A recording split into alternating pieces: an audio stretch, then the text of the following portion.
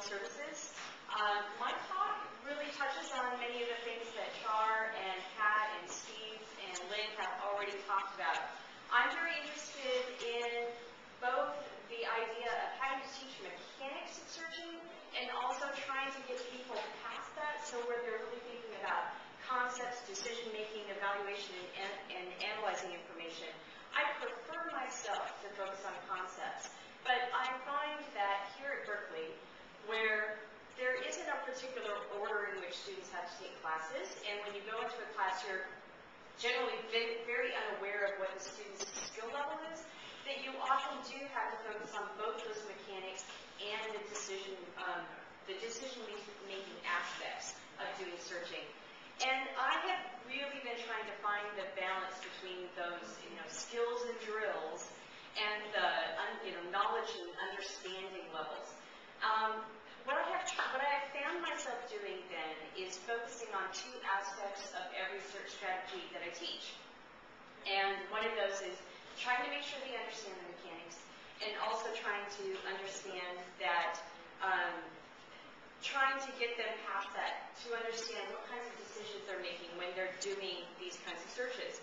So for example, students need to understand, of course, how the mechanics of the catalog, how to actually perform a search to retrieve the materials they need.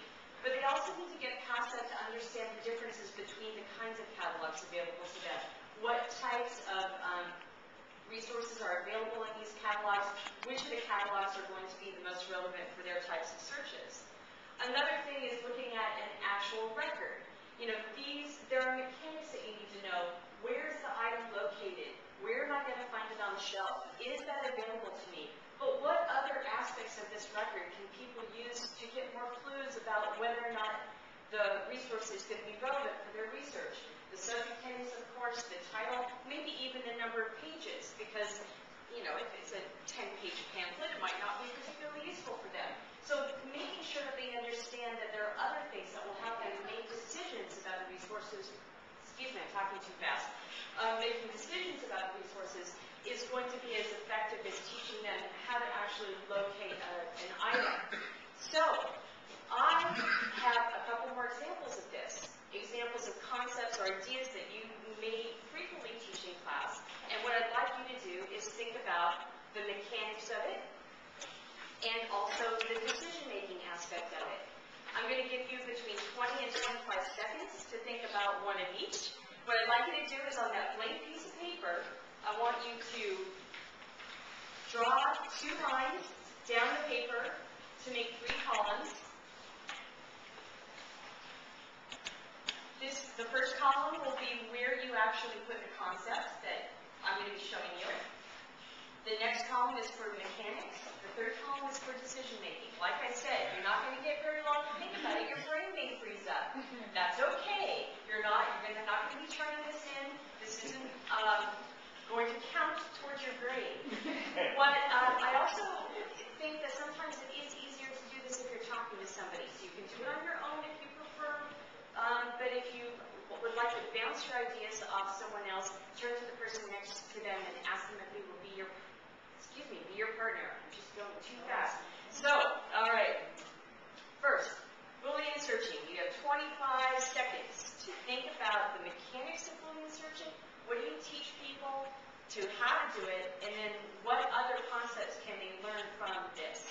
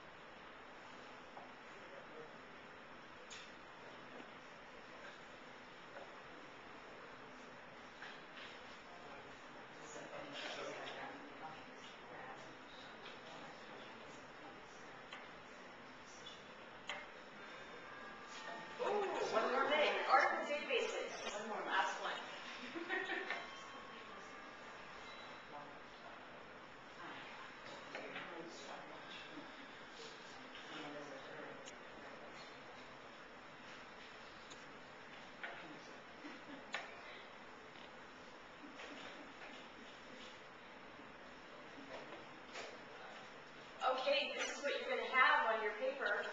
Uh, the four topics on the left-hand side, two columns, this is where you will build in your ideas. Anyone want to volunteer? Boolean searching mechanics.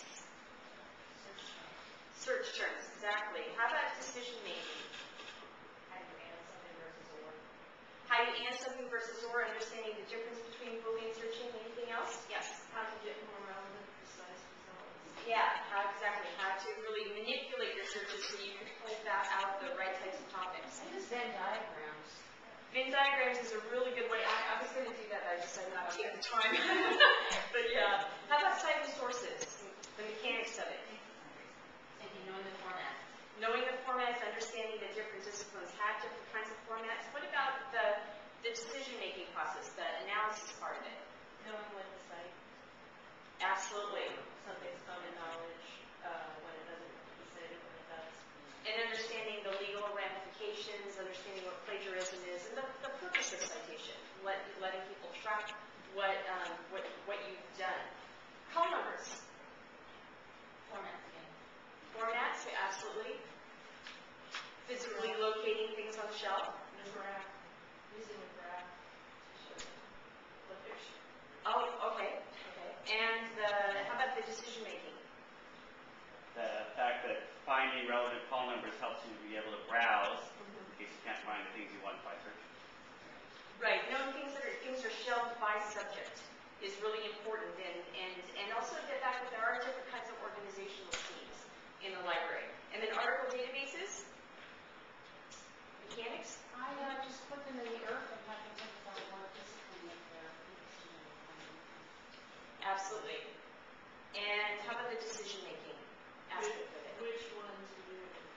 Right, choosing which one and also understanding that there are dis, there are databases unique to their own discipline and, and, the idea that uh, information in general is organized into disciplines.